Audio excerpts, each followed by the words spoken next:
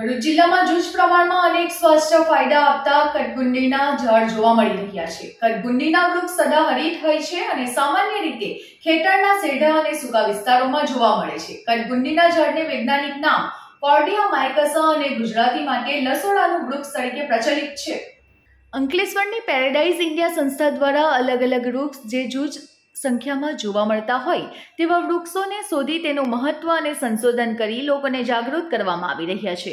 જેના ભાગરૂપે paradise India સંસ્થાના અમિત રાણા દ્વારા નેચર વોક દરમિયાન ખોવાઈ ગયેલા અને આડે ઉભેલા કટગુંડીના ઝાડનો અભ્યાસ કર્યો હતો. અંકલેશ્વર તાલુકાના સુરવાડી ગામ ખાતે આવેલા મહાકાળી માતાજીના મંદિર પાસે ફક્ત બે કટગુંડીના વૃક્ષો નજરે પડ્યા હતા. જેનો સંસ્થા દ્વારા વૃક્ષ અને તેના ફળ, પાંદડા થડનો ઝીણવટપૂર્વક અભ્યાસ કરવામાં આવ્યો હતો. તેના બીજનું કલેક્શન દ્વારા તેનો પણ અભ્યાસ કરાયો હતો અને તેનું વૈજ્ઞાનિક નામ કોર્ડિયા માઇકસા તરીકે ઓળખાય છે. ગુજરાતી માટે લસોડાનું વૃક્ષ તરીકે પણ ઓળખવામાં આવે છે. કચ્છમાં કટગુંડીને લિયાર નામથી પણ ઓળખવામાં આવે છે, જેમાં અંદરની તરફ ચીકણો રસ હોય છે. એ ઔષધીય વનસ્પતિ છે, જેના નાના કેસરી ફળ અતિ ગુણકારી હોય છે. ગુજરાતના આદિવાસીઓ ગુંડીના ફળને સૂકવીને તેનું ચૂર્ણ બનાવે છે અને તેના ફળને ખાવામાં પણ ઉપયોગ કરે છે. તેના ફળ સ્વાદે ખૂબ જ મીઠા હોય છે, પણ અંદર ગુંદર જેવો ચીકણો રસ હોય છે.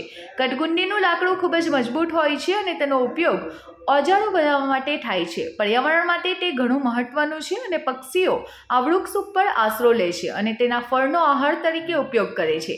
જ્યારે પક્ષીઓના પગે ચોંટી જાય છે, ત્યારે તેના પર એક જગ્યાએથી બીજી જગ્યાએ સ્થળાંતર થાય છે અને તેના આ ફળમાંથી બીજના અંકુરર પામી એક નવો છોડ રૂપાંતર થાય છે. અમિત રાણાએ જણાવ્યું હતું કે, અમે લોકો જ્યારે નાના હતા, ત્યારે ખેતરના સેઢા પર કે વનવગડામાં તેના ઝાડ જોવા મળતા હતા. જોકે આજકાલ તો બજારમાં પૈસા ખર્ચવા છતાં મળતા નથી અને લગભગ દુર્લભ બની ગયા છે. કટગુંડીના વૃક્ષ સદા હરિત હોય છે અને ભરૂચ જિલ્લામાં આ વૃક્ષો ઘણા ઓછા પ્રમાણમાં જોવા મળે છે. તેમના આ બીજ અને વૃક્ષનો યોગ્ય સંવર્ધન દ્વારા તેને નામશેષ થતું પણ અટકાવી શકાય છે. તે અંગે પગલાં ભરવા જરૂરી છે.